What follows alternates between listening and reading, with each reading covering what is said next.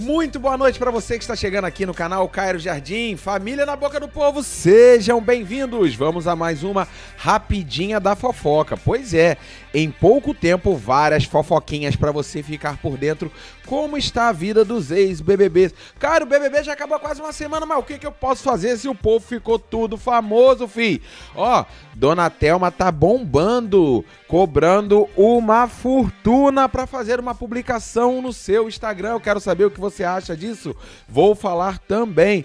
A Manu reapareceu. Oh, aleluia! Finalmente apareceu Dona Manu. Foram só três dias sumidas da internet, mas pareceram três anos.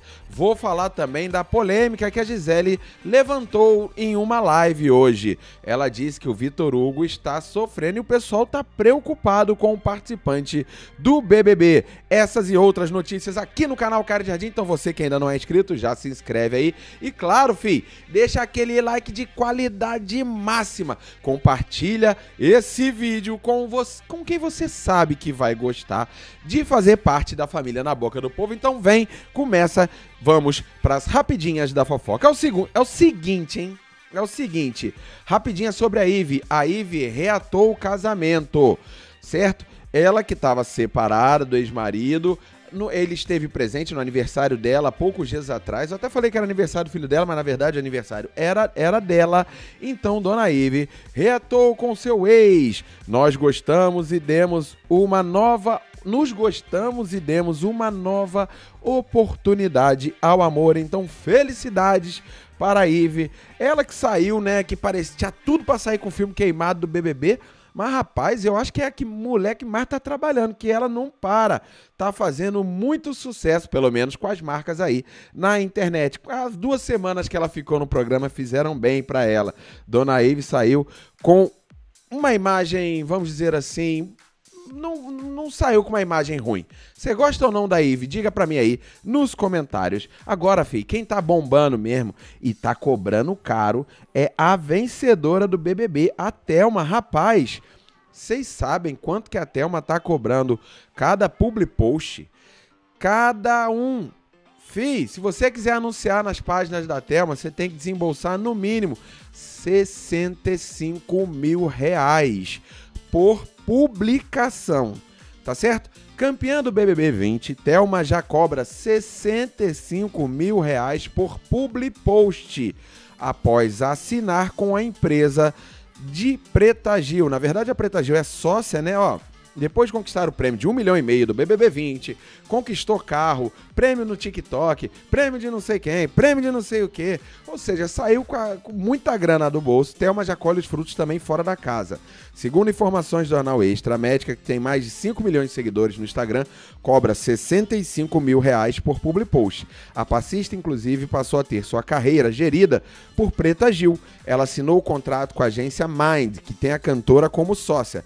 Preta e o marido de Thelma, Denis Santos, já vinham conversando sobre a parceria um mês antes de Thelma deixar o programa e o contrato foi formalizado com o fim do reality show. É, rapaz, os dois então já vinham antes do, do programa acabar conversando e o povo já foi para a rede social falar: Ah, entendi por que, que a Preta Gil queria tanto que ela ganhasse esse programa. Tá explicado. Ah, olha, rapaz. Olha o veneno escorrendo na boca do povo aí, ó. Tá explicado porque ainda não fez nenhum no Insta dela. Eita, tá falando que estão cobrando tão caro que por isso que ela não fez nenhuma propaganda. O povo também torce contra, mas também tem gente que torce a favor. Ela não está errada, claro que não. Ela está certíssima, até porque tem que aproveitar esse momento. Comentários positivos, comentários mandando força, comentários negativos, comentários de gente com inveja, comentários de todos os tipos. E você, o que acha dessa notícia? A Thelma merece ou não merece?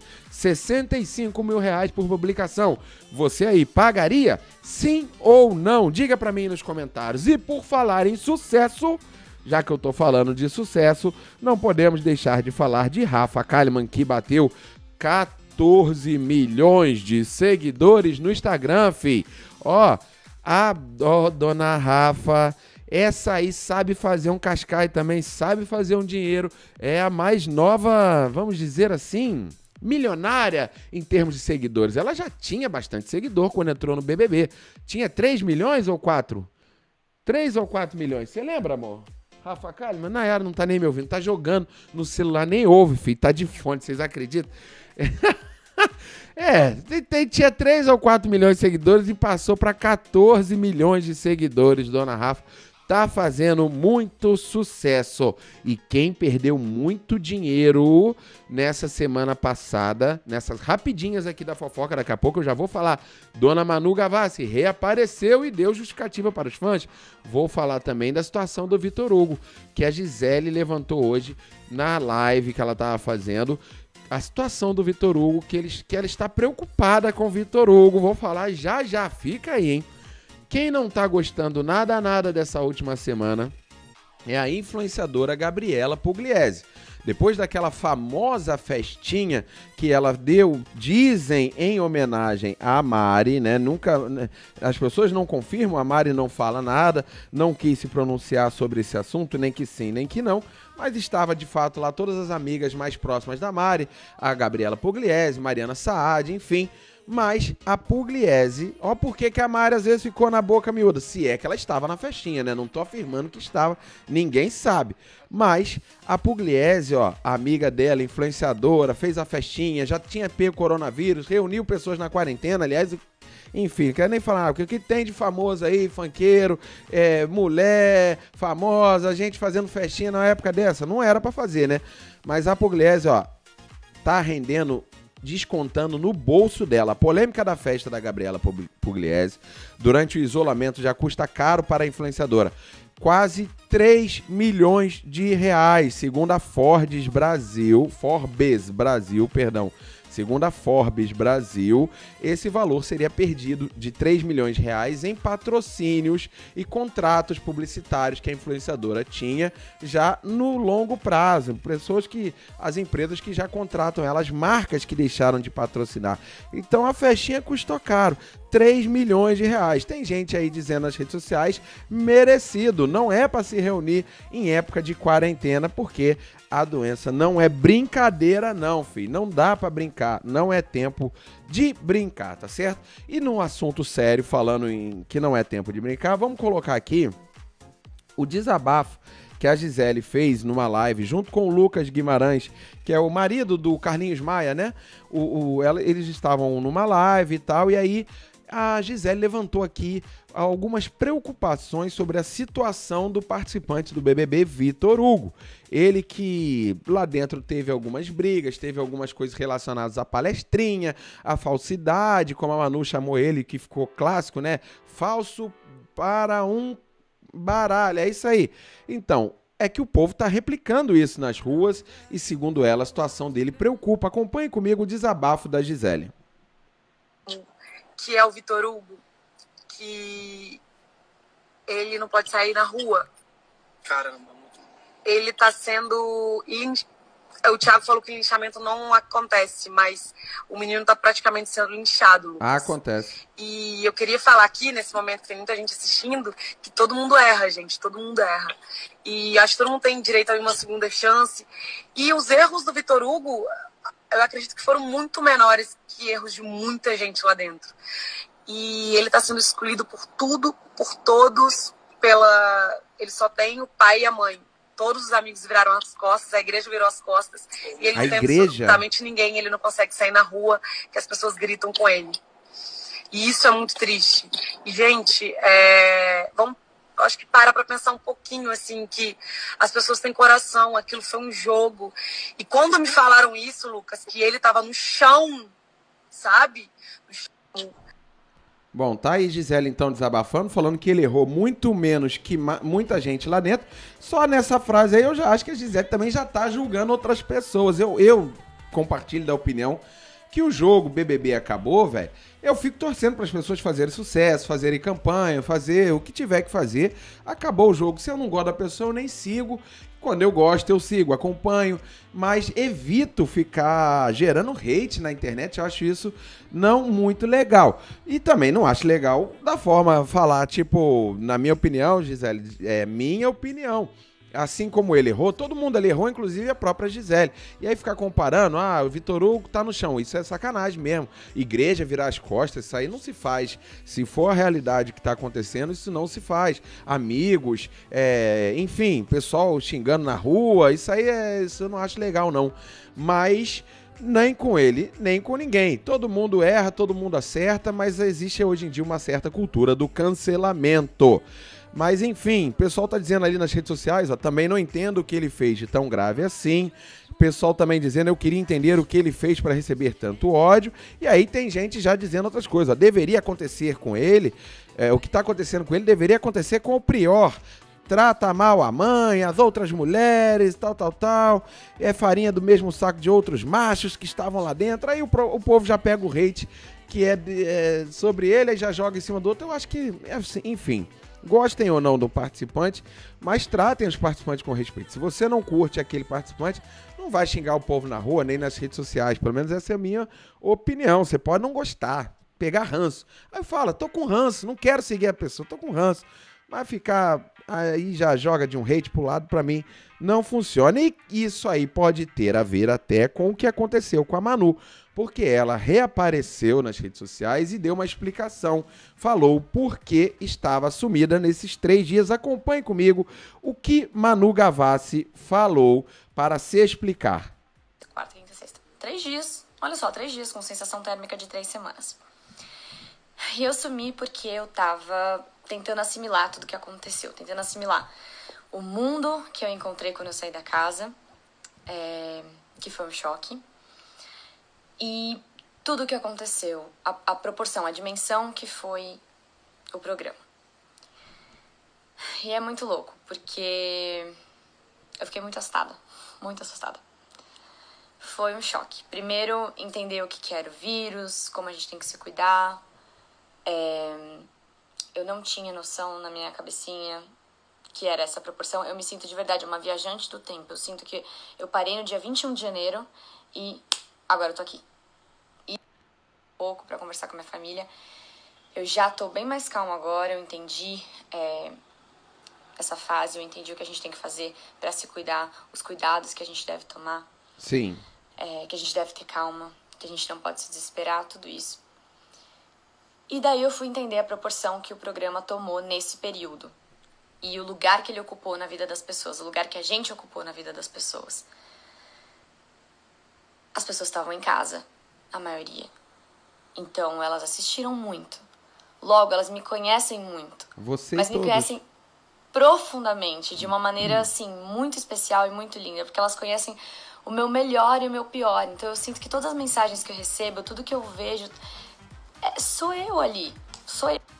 Tá aí uma parte do que a Manu falou, também agradeceu mais de 10 milhões de novos seguidores, disse estar aprendendo a lidar com tudo que está acontecendo aqui no mundo e precisou desse tempo para poder se adaptar. Agradeceu o carinho das pessoas e um vídeo um pouco mais longo, cerca de 5 minutos, inclusive. Olha como funcionou esse burburinho aí dela ter ficado sumida esses dias. Esse vídeo foi postado por ela, se eu não me engano, há aproximadamente 3 horas, 3 horas e meia, já está com mais de 5 milhões de visualizações no Instagram. Então tá aí o reaparecimento da Manu, afinal todo mundo tava cobrando onde estava a Manu Gavassi, se isso era marketing, se era ela precisava de um tempo, se ela tinha ido pra Disney, tá aí a Manu, tá certo? Quem chegou agora, vou fazer um pequeno resumo aqui das rapidinhas da fofoca. Já falei da Ive, que voltou sim com o ex-marido de vez, os dois já declararam isso nas redes sociais. Falei da Thelma, que tá fazendo sucesso, parece que ela assinou contrato com a empresa da Preta Gil, pelo que dizem, e tá cobrando 65 mil reais o public post no Instagram. Você pagaria sim ou não para aparecer nas páginas da campeã do BBB? Ela que ganhou milhões de seguidores também e tá com uma imagem bem legal aqui fora, pelo menos publicitária, uma imagem publicitária interessante, vamos conferir o sucesso que Dona Thelma irá fazer. Falei também da Rafa, essa daí entende de sucesso, fi. Bateu 14 milhões de seguidores. Você aí segue Rafa Kalimann, sim ou não? Aleluia, arrepiei, Senhor. 14 milhões de seguidores, é muita gente. nas redes sociais e ela sabe lidar bem com isso, mais ou menos ao contrário, talvez, pelo que eu entendi da Manu, que precisou de três dias para se readaptar a esse mundo novo e reapareceu dando esta justificativa nas redes sociais. E falei também para finalizar, né? Não necessariamente nessa ordem, mas comentei também sobre o Vitor Hugo e a política do cancelamento virtual, linchamento virtual. Segundo a Gisele, o Vitor Hugo está no chão, ela está preocupada com ele. Eu já vi gente falando também que estava preocupado com a Fly, apesar da Fly aparecer em vários vídeos no TikTok, entre outras coisas, fazendo muitas brincadeiras. Eu também já vi um vídeo da Fly dizendo que ela alterna momentos de extrema alegria com momentos de extrema tristeza. A verdade é muito até em função do que a própria Manu falou, minha opinião, é que esse programa teve uma exposição gigantesca, gigantesca pelo fato de tudo que vem acontecendo no mundo, de estar a maioria das pessoas em casa e nem todo mundo é preparado para lidar com uma política de cancelamento tão grande quanto essa. Sabe? Quando a pessoa não gosta, os haters que vão falar mal, vão xingar, xinga na rua, aí fala besteira. Como disse a Gisele, eu não sei, mas pelo menos pelo que a Gisele falou, até a igreja e os amigos viraram as costas para o Vitor Hugo e só a, o pai e a mãe dele que estão apoiando ele. Eu acho isso que não é legal. Não é legal, mas quero saber também, claro, a sua opinião. Mas o fato é que nem todo mundo é preparado para entrar numa exposição dessa tão grande. Até por isso, quando eu faço aquela pergunta aqui, e faço até novamente, você aí teria coragem de entrar no BBB, no BBB 21, por exemplo? Sim ou não? Você estaria disposto a participar de um programa que expõe todas as suas intimidades, pelo menos quase todas, né? Que expõe você para um país inteiro e depois poder sair de lá amado, endeusado ou cancelado. E aí o bicho pega, filho, porque as redes sociais são duras quando as pessoas querem e machucam. Eu sei porque a gente é, já passou um pouquinho por situações assim, é, tanto de pessoas gostarem muito da gente quando a gente ganhou o programa, quanto de pessoas não gostarem da gente, então a gente já sabe mais ou menos os dois lados da moeda. E não é fácil, realmente. Tem que ter um pouco de cabeça e de preparo, mas não é fácil de forma nenhuma. Então diga para mim nos comentários tudo que você achou dessa rapidinha da fofoca. Eu fico aqui convidando você a participar dos vídeos de amanhã, que claro, amanhã aqui no canal Cairo Jardim vai ter muito conteúdo, sim.